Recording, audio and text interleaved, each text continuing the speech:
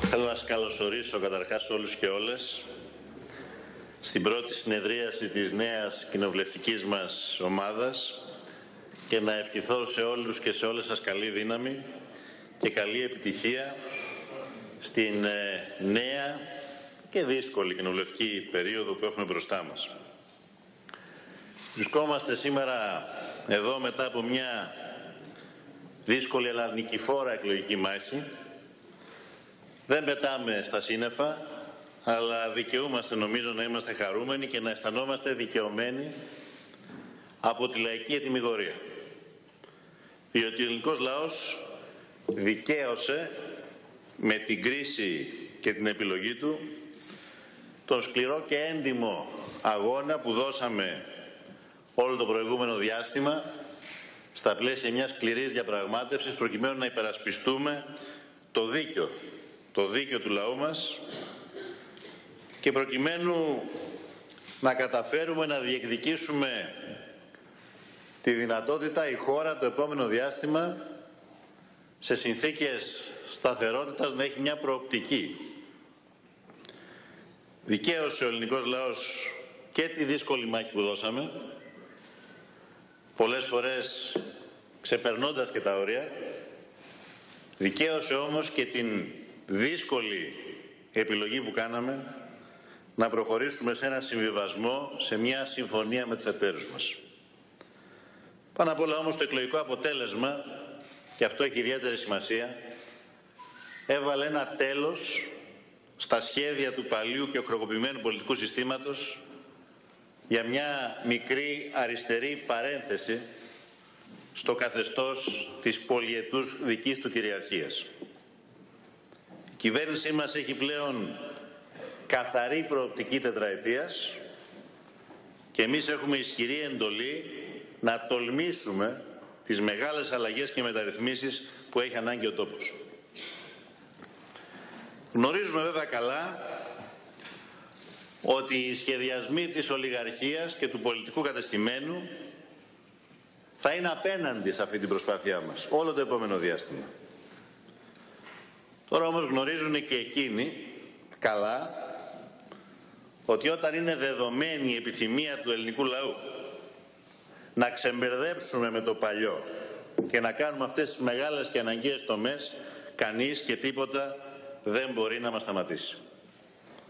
Κανείς δεν μπορεί να σταματήσει την προσπάθειά μας να δημιουργήσουμε ένα πλαίσιο ανάσας στην ελληνική δικαιοσύνη ώστε να κτυπηθεί στη ρίζα του το καθεστώς της γενικευμένης διαπλοκής και της διαφοράς στο δημόσιο βίο. Κανείς δεν μπορεί να σταματήσει την προσπάθειά μας να απαλλαγούμε από τα πελατειακά δίκτυα στο δημόσιο τομέα από την εκμετάλλευση των κρατικών κονδυλίων προς όφελος μιας συγκεκριμένης κρατικοδίαιτης επιχειρηματικής ελίτ που όχι μόνο δεν βοήθησε τον τόπο την περίοδο της κρίσης αλλά έσπευσε μάλιστα να προστατεύσει τα προνόμια της κρύβοντας αφορολόγητα έσοδα σε τράπεζες του εσωτερικού, σε λίστες φοροδιαφυγής, σε offshore εταιρείες και συνεχίζοντας, διατηρώντας ταυτόχρονα παρόλα αυτά μια προνομιακή σχέση με τράπεζες και μέσα ενημέρωσης. Και θέλω να γνωρίζετε ότι το επόμενο διάστημα η πραγματική αντιπολίτευση στην προσπάθειά μας να αλλάξουμε τον τόπο θα είναι αυτό το κατεστημένο. Θα είναι όλοι αυτοί, δεν θα είναι η Νέα Δημοκρατία. Η Νέα Δημοκρατία απλά θα αναπαράγει τη δική τους στρατηγική, τη δική τους αντιπολιτευτική γραμμή. Αλλά είναι βαθιά μου πεποίθηση ότι δεν θα καταφέρουν να σταματήσουν την προσπάθειά μας. Παρά τις δυσκολίες και παρά τον δυσμενή συσχετισμό δύναμης στην Ευρώπη και στον κόσμο, θα καταφέρουμε να αφήσουμε ανεξίδηλο στίγμα, το ανεξίδηλο στίγμα της προσπάθειάς μας σε μεταρρυθμίσεις και αλλαγές, θα καταφέρουμε να πετύχουμε το στόχο μας, να αλλάξουμε την Ελλάδα και ταυτόχρονα να πρωταγωνιστήσουμε στις μεγάλες αλλαγές που έχει ανάγκη η Ευρώπη. Και αυτός ο πρωταγωνιστικός ρόλος που θέλουμε να διαδραματίσουμε είναι σήμερα ξανά εφικτός παρά το μικρό μέγεθος της χώρας μας στο ευρωπαϊκό και στο διεθνές γίγναστη. Διότι τόσο η κυβέρνησή μας όσο και ο ΣΥΡΙΖΑ βρίσκονται στην παγκόσμια πρωτοπορία του αγώνα για την αλλαγή των συσχετισμών που σε διεθνές και ευρωπαϊκό επίπεδο επέβαλαν το σημερινό κυρίαρχο νεοφιλελεύθερο μοντέλο στις κοινωνίες και στις οικονομίες της Δύσης. Σε αυτό ακριβώς το πλαίσιο εντάχθηκε και το ταξίδι μας την προηγούμενη εβδομάδα στις ε, Ηνωμένες Πολιτείες καθώς και η παρουσία μου στη Γενική Συνέλευση του Οργανισμού Ηνωμένων Εθνών.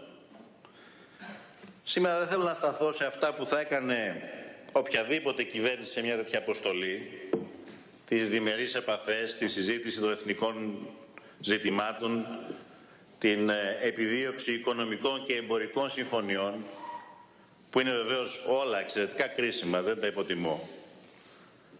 Θέλω όμως να αναφερθώ ιδιαίτερα σε δύο επιμέρους αλλά εξαιρετικά σημαντικούς στόχους που λόγω της συγκυρίας είχε το ταξίδι και οι παρεμβάσεις μας στη Νέα Υόρκη. Ο πρώτος στόχος ήταν η διεθνοποίηση του ζητήματος του χρέους. Είναι γνωστό ότι μπροστά μας έχουμε μια πολύ σημαντική διαπραγμάτευση. Αυτή που αφορά την ανάγκη για την απομείωση του δημόσιου χρέους μια διαπραγμάτευση που σύμφωνα με τη συμφωνία θα ακολουθήσει αμέσως μετά την πρώτη αξιολόγηση, δηλαδή πριν το τέλος του έτους. Στην προοπτική αυτή της διαπραγμάτευσης είναι αναγκαίο να διαμορφώσουμε όχι μόνο τις συμμαχίες μας στην Ευρώπη, να διαμορφώσουμε τις διεθνείς μας συμμαχίες. Γιατί το πρόβλημα του χρέους προφανώς δεν είναι ελληνικό πρόβλημα, θα έλεγε κανείς ότι είναι ευρωπαϊκό, εγώ θα προσέθετα ότι το πρόβλημα του χρέους είναι πρόβλημα διεθνές, είναι πρόβλημα παγκόσμιο. Και η επίλυσή του σε διεθνές επίπεδο μπορεί να αποτελέσει διέξοδο των λαών προς την ευημερία και την ανάπτυξη. Στο πλαίσιο λοιπόν αυτής της τόσο σημαντικής διαπραγμάτευσης είναι καθήκον μας να διαμορφώσουμε συμμαχίες, να διεθνοποιήσουμε το ζήτημα. Και αυτό κάναμε. Καλώντας να συσπηρωθούν γύρω από τις απόψεις αυτές όλοι όσοι κατανοούν την ανάγκη και τη σημασία μιας βιώσιμης διεξόδου από αυτόν τον φαύλο κύκλο. Η Γενική Συνέλευση του ΟΗΕ ήταν ένα κατάλληλο βήμα για τη διεθνοποίηση του ζητήματος και τολμώ να πω, προς, τολμώ να πω πως η προσπάθειά μας ήταν εκ του αποτελέσματος, το λέω, εξαιρετικά αποδοτική. Είναι βέβαια προφανές ότι κάποιοι δυσαρεστήθηκαν. Αυτοί που ήθελαν την ελληνική κυβέρνηση στο κρίσιμο αυτό ζήτημα σιωπηλή. Να διαπραγματεύεται εν κρυπτό, να υπογράφει ό,τι της δίνουν δίχως αντιρρήσεις, να ισχυρίζεται δημόσια ότι το χρέος είναι βιώσιμο και να διεκδικεί πιστοποιητικά βιωσιμότητας από τους πιστωτές για να απαλλάξει τους πιστωτές, τους δανειστές από την υποχρέωση να τηρήσουν τις δεσμεύσεις τους. Αλλά η δική μας κυβέρνηση δεν είναι τέτοιου είδους κυβέρνηση. Και ο ελληνικός λαός το γνωρίζει αυτό πάρα πολύ καλά. Θα προχωρήσουμε λοιπόν στη διαπραγμάτευση με ανοιχτά χαρτιά αλλά και με καθαρές κουβέντες.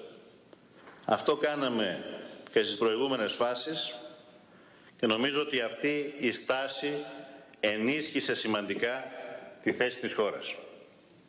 Έχουμε κερδίσει έδαφος στη μεγάλη αυτή μάχη και θα συνεχίσουμε να κερδίζουμε αρκεί να είμαστε μεθοδικοί, ρεαλιστές και ταυτόχρονα έτοιμοι, προετοιμασμένοι να προτείνουμε αναγκαίες και επεξεργασμένες ριζοσπαστικές λύσεις. Και θέλω σε αυτό το σημείο να τονίσω, να θυμίσω ότι το ζήτημα του χρέους δεν είναι απλά ένα ζήτημα αριθμητικής. Από την επίλυσή του εξαρτάται σε μεγάλο βαθμό η επιστροφή της χώρας στην κοινωνική και οικονομική σταθερότητα που αποτελεί την αναγκαία προϋπόθεση για τη δημιουργία και ενός ευνοϊκού επενδυτικού περιβάλλοντος.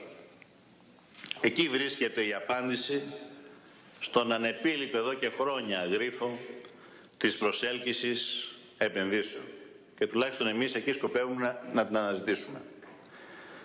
Θα πρότεινα λοιπόν στη Νέα Δημοκρατία, αντί να παίζει τα επικοινωνιακά παιχνίδια εσωτερικής κατανάλωσης γύρω από το κορυφαίο αυτό θέμα των επενδύσεων, ότι δήθεν αυτή είναι φιλική και αγαπάει τους επενδυτές ενώ εμείς δεν τους αγαπάμε, θα πρότεινα να παραδεχθεί την αλήθεια που δείχνουν οι αριθμοί. Ότι επί των ημερών της δεν έγινε απολύτως τίποτα για την προσέλκυση επενδύσεων. Δεν είχαμε κανένα ουσιαστικό αποτέλεσμα ακριβώς επειδή δεν έγινε απολύτως τίποτα και για να επιληθεί αυτό το κομβικό ζήτημα, το ζήτημα του χρέους. Δεν έγινε απολύτως τίποτα για να απαλλαγεί η χώρα από αυτόν τον βραχνά που την κρατά καθυλωμένη και στάσιμη. Θα ήθελα λοιπόν από αυτό εδώ το βήμα σήμερα να τους καλέσω αντί να μεμψημυρούν, να συνδράμουν στη μεγάλη προσπάθεια που έχουμε ξεκινήσει. Στη μεγάλη προσπάθεια που έχουμε ξεκινήσει για να δημιουργήσουμε συμμαχίες και να ενισχύσουμε τη θέση της χώρας προκειμένου να έχουμε το καλύτερο δυνατό αποτέλεσμα στην μεγάλη αυτή συζήτηση για την αναγκαία απομείωση του χρέους. Ίσως βέβαια η καλύτερη βοήθεια που επί του παρόντος έχουν να δώσουν είναι να παραμένουν σιωπηλοί. Ειδικά αν σκοπεύουν να συνεχίσουν τη ρητορία τους περί βιωσιμότητας του χρέους. Αν είναι να λένε αυτά, καλύτερα να παραμένουν σιωπηλοί. Έστω και έτσι, έστω και με τη σιωπή τους θα μπορούσαν να προσφέρουν μια πολύτιμη υπηρεσία στη μεγάλη αυτή εθνική θα έλεγα προσπάθεια. Αν ο πρώτος στόχος λοιπόν της αποστολής μας στον Οργανισμό Ενωμένων Εθνών ήταν η διεθνοποίηση του ζητήματος του χρέους, που επαναλαμβάνω δεν είναι μόνο ευρωπαϊκό αλλά και διεθνές ζήτημα. Καθώς θα γνωρίζετε ότι έχει ήδη τεθεί στην ατζέντα του ΟΗΕ ως θέμα κρίσιμο συζήτησης, όπου έχουν πάρει μέρος με θετική ψήφο μια σειρά από χώρες, στην ανάγκη να υπάρξει διευθέτηση δίκαιη και απομείωση του του δημόσιου χρέους για μια σειρά από χώρες. Και δυστυχώς με εισήγηση των προηγούμενων κυβερνήσεων η χώρα μας απήχε από αυτή τη συζήτηση. Λες και αφορά μονάχα κάποιες τρίτες χώρες και όχι την Ελλάδα. Αν λοιπόν ο πρώτος στόχος ήταν η διεθνοποίηση του ζητήματος του χρέους ο δεύτερος στόχος ήταν να ανοίξουμε από τη δική μας πλευρά και από μια ουμανιστική και προοδευτική σκοπιά το μεγάλο επίσης παγκόσμιο και όχι μόνο ελληνικό ή ευρωπαϊκό ζήτημα, το ζήτημα των προσφυγικών ροών. Γιατί το ζήτημα αυτό αφορά όλο τον κόσμο, αφορά βεβαίως πρώτα απ' όλα τις χώρες υποδοχής, τις χώρες που δέχονται τους πρόσφυγες και οι οποίες χρειάζονται στήριξη και αλληλεγγύη για να διαχειριστούν το τεράστιο ανθρωπιστικό πρόβλημα που δημιουργείται Αφορά όμως και ολόκληρη την Ευρώπη, η οποία οφείλει να δείξει το ανοιχτό ανθρωπιστικό πρόσωπο απέναντι στην κρίση που έχει εκδηλωθεί. Και να κλείσει την πόρτα στην ακροδεξιά, στο ρατσισμό, στην ξενοφοβία, που δυστυχώς σαν αντιλήψεις σηκώνουν κεφάλι σε ολόκληρη την Ευρώπη. Γιατί εδώ βρισκόμαστε μπροστά σε μια υπαρξιακή κρίση, κρίση ταυτότητας για την Ευρώπη. Από τη μια πλευρά το ένα πρόσωπο της Ευρώπης είναι αυτό που ευτυχώς θα έλεγα εγώ και πρέπει να είμαστε περήφανοι γι' αυτό, το έδειξε ο λαός μας όταν σε πολύ κρίσιμες και δύσκολες στιγμές στα νησιά μας, στην Κο, στη Μυτιλίνη και σε άλλα νησιά έδωσε χέρι βοήθειας στους ανθρώπους αυτούς που έχουν τη μεγαλύτερη ανάγκη αυτή τη στιγμή και από την άλλη πλευρά το άλλο πρόσωπο της Ευρώπης είναι δυστυχώς το πρόσωπο του αυταρχισμού, της καταστολής. Αυτό που έδειξαν αυτοί που χτίζουν τείχη στα σύνορά τους και βομβαρδίζουν με χημικά τους ανυπεράσπιτους αυτούς ανθρώπους. Έλεγα όμως ότι το πρόβλημα αυτό αφορά και ολόκληρο τον πλανήτη, όχι μόνο την Ευρώπη, την παγκόσμια κοινότητα, η οποία οφείλει να βάλει ένα τέλος στις αιτίες που προκαλούν το πρόβλημα αυτό. Στις συγκρούσεις, στους πολέμους, στις περιφερειακές κρίσεις. και να δημιουργήσει ένα στέρεο έδαφος για την επίλυση των κρίσεων μέσα από την διπλωματική οδό, ώστε να εδραιωθεί η ειρήνη και η ασφάλεια. Γιατί μόνο αν αντιμετωπιστούν οι αιτίες που προκαλούν τις προσφυγικές ροές, μπορεί να αντιμετωπιστεί ουσιαστικά το ζήτημα. Με αυτή την αντίληψη τοποθετηθήκαμε στη Γενική Συνέλευση του ΟΗΕ, αλλά και στις, στα ειδικά τραπέζια που οργανώθηκαν για αυτό το θέμα και με αυτή την αντίληψη σκοπεύουμε να διαχειριστούμε από εδώ και πέρα το ζήτημα, επιδιώκοντας τη μεγαλύτερη δυνατή οργάνωση και τη μεγαλύτερη δυνατή αποτελεσματικότητα σε όλα τα επίπεδα. Και όπως άκουγα προχθές και τις δηλώσεις του Υπουργού Μεταναστευτικής Πολιτικής, δεν επιδιώκουμε να εξαφανίσουμε το πρόβλημα. Επιδιώκουμε να έχουμε τη δυνατότητα κάθε μέρα να βελτιώνουμε την κατάσταση. Θαύματα δεν μπορούμε να κάνουμε, μπορούμε όμως να είμαστε αποτελεσματικοί ώστε να δίνουμε τη μέγιστη δυνατή βοήθεια σε αυτούς τους ανθρώπους, αλλά ταυτόχρονα να ελαφρύνουμε και το βάρος των νησιών μας, των ε, χώρων πρώτης υποδοχής. Γι' αυτό και το επόμενο διάστημα πρέπει να αναδείξουμε όλες μας, να δώσουμε όλες μας τις δυνάμεις για τη μεγαλύτερη δυνατή οργάνωση και αποτελεσματικότητα των παρεμβάσεών μας σε όλα τα επίπεδα. Σύντροφοι και συντρόφισσες, έχουμε μπροστά μας ένα σημαντικό όσο και δύσκολο όμως έργο. Να υλοποιήσουμε τη συμφωνία της 12ης Ιουλίου. Ταυτόχρονα όμως πρέπει να διαπραγματευτούμε τα ανοιχτά της σημεία, τα σημεία αυτά που με μάχη παρέμειναν ανοιχτά. Να διαπραγματευτούμε ώστε να κατοχυρώσουμε το έδαφος που κερδίσαμε και ώστε να διασφαλίσουμε πρώτον την ανακεφαλαιοποίηση των τραπεζών και την επίλυση του χρόνιου προβλήματος των κόκκινων δανείων με την ταυτόχρονη προστασία της πρώτης κατοικίας. Δεύτερον, την υιοθέτηση ισοδυνάμων ώστε να μην εφαρμοστεί η ρήτρα μηδενικού ελλείμματος. Τρίτον, την επαναφορά των συλλογικών διαπραγματεύσεων ώστε να μπει επιτέλους ένας φραγμός στην εργοδοτική αυθαιρεσία ώστε να μπει ένα τέλος στην κατάσταση εξαίρεσης στην αγορά εργασίας.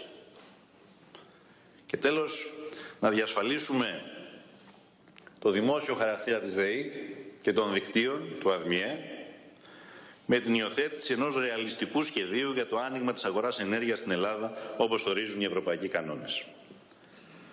Πριν απ' όλα όμως οφείλουμε να έχουμε στο μυαλό μας ότι για να τα πετύχουμε όλα αυτά Προς το συμφέρον μας είναι να τελειώνουμε όσο δυνατόν γρηγορότερα την πρώτη αξιολόγηση, ώστε να ανοίξει επιτέλους η αναγκαία συζήτηση για την αναδιάρθρωση του χρέους.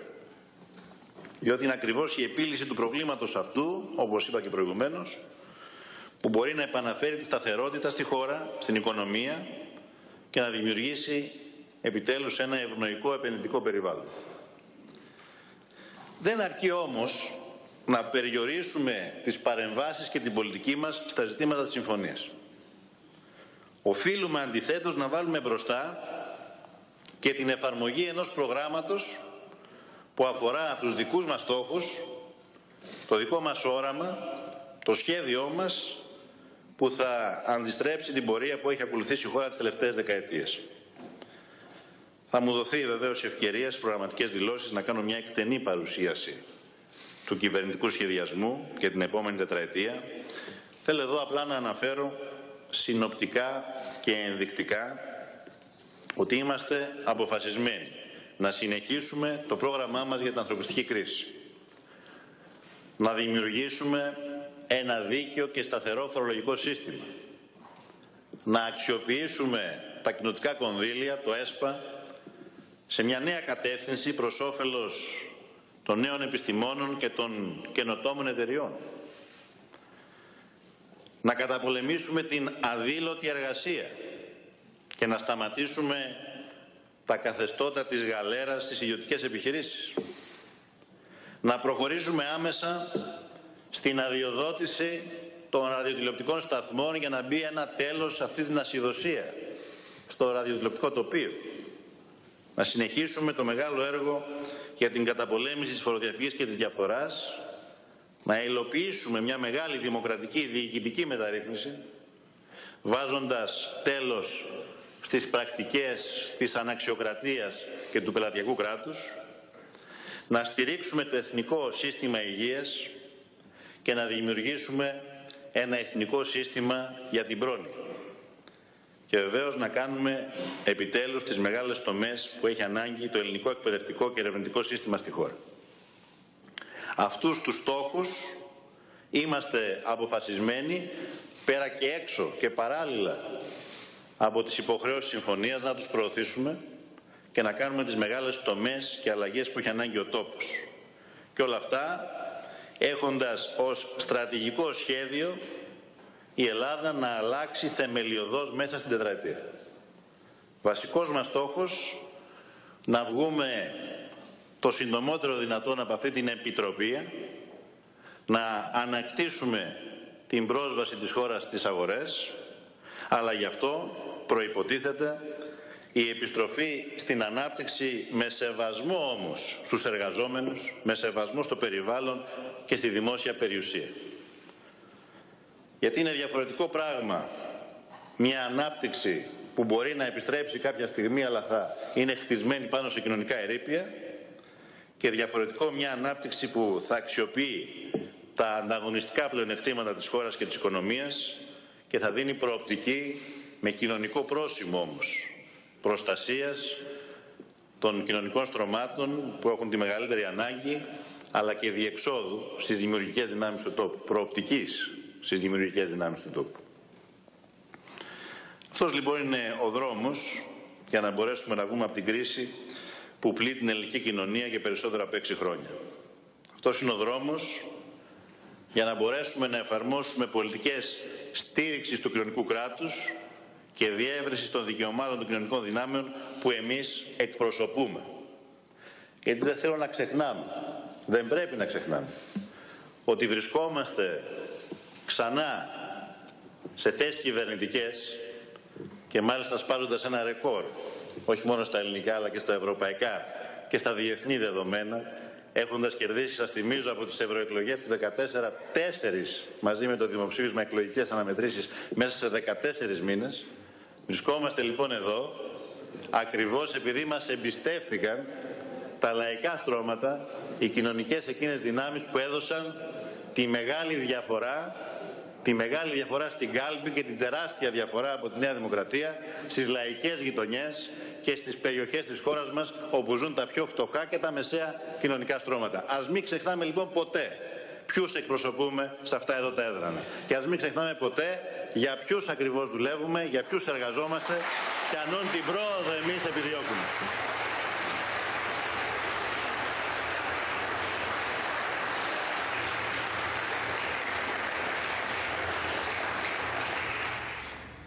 Συντρόφισσες και σύντροφοι,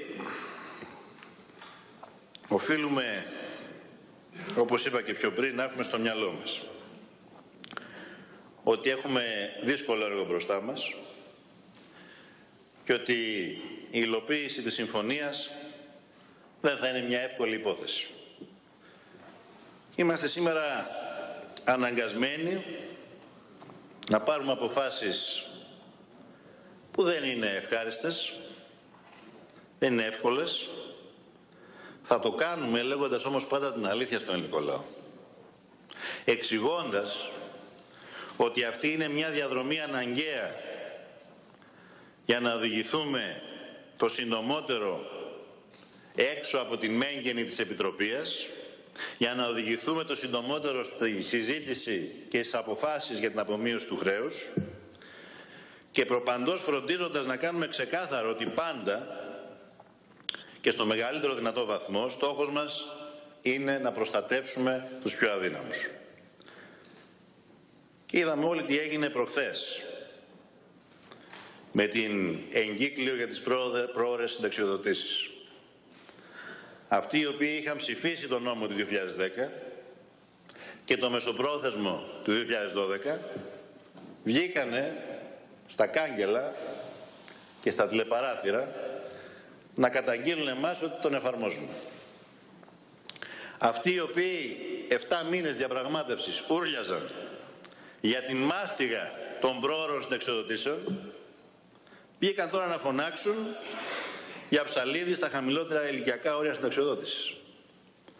Αυτοί οι οποίοι μας καλούσαν να υπογράψουμε κάθε απέτηση των δανειστών και κάνανε τη μεγάλη καμπάνια για τον ναι στο δημοψήφισμα του Ιούλη, βγήκαν να μας κατηγορήσουν τώρα ότι έχουμε αντιλαϊκή πολιτική. Και αυτός το έχουμε καλά στο μυαλό μας το επόμενο διάστημα, διότι η παραπληροφόρηση και η διασπορά της σύγχυσης θα οργιάσει και θα ακούσουμε πολλά για φοροκαταιγίδες, φορολέλαπες, ψαλίδια. Δεν πρέπει να υιοθετούμε μια αμυντική στάση σε αυτή την πολεμική. Δεν πρέπει να χαριζόμαστε όμως και σε κανέναν από αυτούς που, λε, που λαιλάτισαν το προηγούμενο διάστημα τον τόπο. Σε αυτούς που χαρακτήρισαν αναπτυξιακές προκλήσεις τη διάλυση του ασφαλιστικού συστήματος με το περιβόητο PSI, το κούρεμα των ομολόγων που οδήγησαν αργότερα και σε συντάξεις πείνας. Και τώρα φωνάζουνε πως φωνάζει ο κλέφτης για να φοβηθεί ο νοικοκύρης. Εμείς δεν λογοδοτούμε σε αυτούς, ας το έχουμε στο μυαλό μας, ούτε στα δελτία των ειδήσεων. Λογοδοτούμε μονάχα στον ελληνικό λαό που μας έδωσε την εντολή. Τον σεβόμαστε γιατί ξέρουμε ότι υποφέρει και έχουμε πάντα ένα όπλο να του λέμε με ειλικρίνεια πάντοτε την αλήθεια. Εξηγούμε τι μέτρα παίρνουμε, γιατί τα παίρνουμε και τι έχουμε φροντίσει και τι μάχες δώσαμε ώστε να διασφαλίσουμε. Να διασφαλίσουμε στηρίγματα για τους πιο αδύναμους. Αλλά το πιο σημαντικό, δεν πρέπει να επιτρέπουμε ούτε τη διαστρέβλωση, ούτε τη διασπορά του φόβου, με την οποία κάποιοι τελευταία ασχολούνται σχεδόν επαγγελματικά. Υπάρχει όμως και ένα άλλο ζήτημα, και αυτό πρέπει να είμαστε καθαροί, όταν κάνουμε λάθος, οφείλουμε να το διορθώνουμε αμέσως όταν το διαπιστώνουμε. Ο νόμος του κ. Μητσοτάκη που έθετε σε αυτοδίκαιη αργία όποιον αντιμετώπιζε πειθαρχικές διώξεις πριν καν ληφθούν αποφάσεις από τα πειθαρχικά συμβούλια ή τα ελληνικά δικαστήρια ήταν ένας κατάπτυστος νόμος. Τον πέρασαν ως μέτρο εναλλακτικό των απολύσεων στο δημόσιο και μάλιστα απολύσεων στοχευμένων και επιλεγμένων. Κάναμε πολύ καλά και τον καταργήσαμε από τον νόμο. Το τεκμήριο της αθωότητας είναι κατάκτηση για τον νομικό μας πολιτισμό. Όταν όμως είδαμε ότι η κατάργησή του ανοίγει παραθυράκι να επιστρέψουν στο δημόσιο επίερο και οι δημόσιοι υπάλληλοι που θα έπρεπε όντως να είχαν απομακρυνθεί από την υπηρεσία τους. Έπρεπε να παρέμβουμε αποφασιστικά. Πριν μας το υποδείξει οποιοδήποτε από τα δελτία των ειδήσεων. Η αντίδραση ήταν φυσικά σωστή, αλλά δεν αρκεί να είναι σωστή. Πρέπει να είναι και άμεση. Να απαντά στο πρόβλημα και όχι στον επικοινωνιακό του αντίκτυπο. Ας είμαστε λοιπόν ξεκάθαροι από εδώ και μπρος. Λάθη θα κάνουμε και αδυναμίες θα εκδηλώσουμε. Είναι φυσικό, είναι ανθρώπινο. Το ζητούμενο είναι να αντιμετωπίζουμε ριζικά και αποτελεσματικά τα λάθη και τις αδυναμίες όταν τα συνειδητοποιούμε. Χωρίς να περιμένουμε να μας τα υποδείξουν οι αντίπαλοι μας, που επίσης είναι φυσικό να επιχειρήσουν να τα εκμεταλλευτούν. Τέλος, και σε αυτό θέλω να είμαι ακόμη πιο σαφής, η νέα κυβέρνηση έχει, όπως και το κόμμα άλλωστε, ως βασική προτεραιότητα μέσα στην τετραετία να ανοίξει τα μεγάλα ζητήματα της δημοκρατίας, της συνταγματικής αναθεώρησης, της εκπαιδευτικής μεταρρύθμισης, του ριζικού μετασχηματισμού του κράτους. Όμως τα ζητήματα αυτά θα πρέπει να ανοίξουν συντεταγμένα στο χρόνο τους και μετά από σοβαρή πολιτική διαβούλευση. Όχι με δηλώσεις στο πόδι και χωρίς πολιτική συνεννόηση. Διότι είναι ακριβώς αυτές οι πρακτικές που πολλές φορές οδηγούν σε λάθη και παλινοδίες. Είναι αυτές οι πρακτικές που δημιουργούν εικόνα ασυνεννοησίας και ανοργανωσιάς. Από εδώ λοιπόν και στο εξής οφείλουμε όλοι να είμαστε ακόμη πιο προσεκτικοί διότι πρέπει να έχουμε στο μυαλό μας ότι κάποιοι καραδοκούν σε κάθε στραβοπάτημα, σε κάθε αδυναμία. Όλοι και όλες είμαστε στο, στρόχα, στο στόχαστρο από την πραγματική αντιπολίτευση και όχι μόνο από την αξιωματική αντιπολίτευση από όλους όσοι θα είχαν ιδιαίτερο συμφέρον να μην καταφέρουμε να προχωρήσουμε σε αυτές τις μεγάλες τομές που έχει ανάγκη ο τόπος. Με οδηγό μας λοιπόν τη συλλογικότητα, την πολιτική συνεννόηση και τη συμμετοχή όλων, οφείλουμε να εργαστούμε όλοι και όλες το επόμενο διάστημα ώστε να δημιουργήσουμε μια κοινοβουλευτική ομάδα πρότυπο δημοκρατίας, πρότυπο συλλογικής σκέψης αλλά και δράσης. Στην προηγούμενη κοινοβουλευτική περίοδο για πρώτη φορά κληθήκαμε να οργανώσουμε την δουλειά μας, την πολιτική μας δουλειά στο Κοινοβούλιο συμπολίτευσης. Ήταν μια νέα κατάσταση που ελάχιστοι βουλευτές μας είχαν αντιμετωπίσει. Ήταν φυσικό να χρειαστούμε και χρόνο προσαρμογής σε αυτή τη νέα κατάσταση. Σήμερα, με την εμπειρία των 7 μηνών, έχουμε τη δυνατότητα να λάβουμε υπόψη πιθανά λάθη και αστοχίες και να οργανώσουμε με μεγαλύτερη αποτελεσματικότητα τη δουλειά μας, η οποία δεν πρέπει σε καμιά περίπτωση να περιοριστεί σε στενές, στις στενές κοινοβουλευτικές αρμοδιότητες. Αντίθετα, η κοινοβουλευτική μας ομάδα πρέπει να είναι το αυτί και το μάτι του κόμματος αλλά και της κυβέρνησης όχι μόνο μέσα στη Βουλή αλλά και μέσα στην κοινωνία.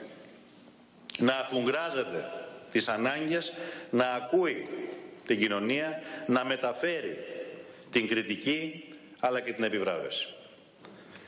Αλλά πάνω απ' όλα η κοινωνική ομάδα και κάθε βουλευτής ξεχωριστά πρέπει να αποτελούν και οργανικό κομμάτι της κοινωνίας και των κινημάτων της κοινωνίας, των αγώνων της κοινωνίας. Να συμμετέχουν, να κινητοποιούν, να ανοίγουν τα επιμέρους και τα συνολικά ζητήματα, επιδιώκοντας, προσπαθώντας να βρουν λύσεις πάνω σε αυτά.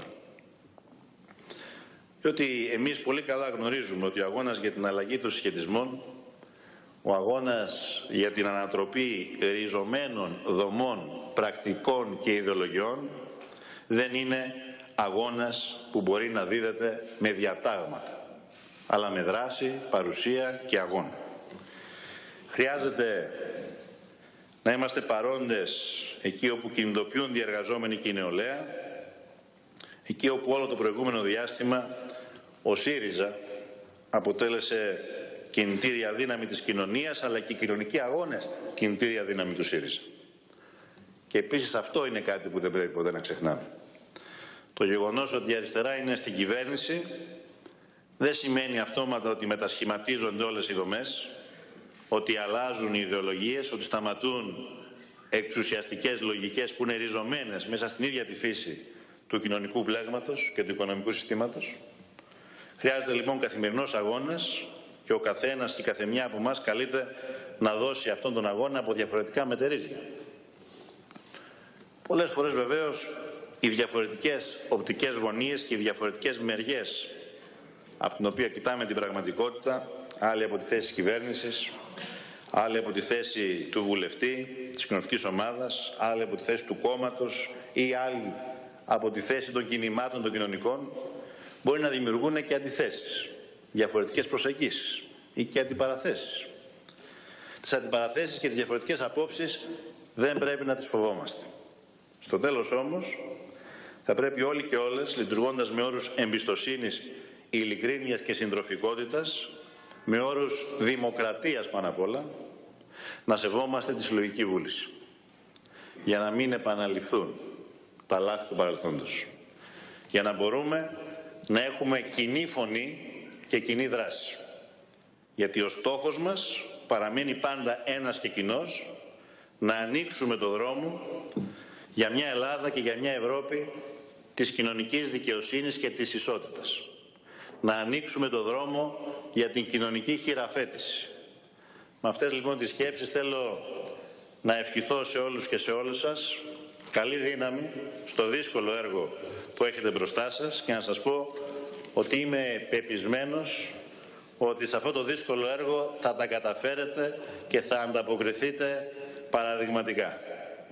Καλή μας δύναμη λοιπόν. Σας ευχαριστώ πολύ.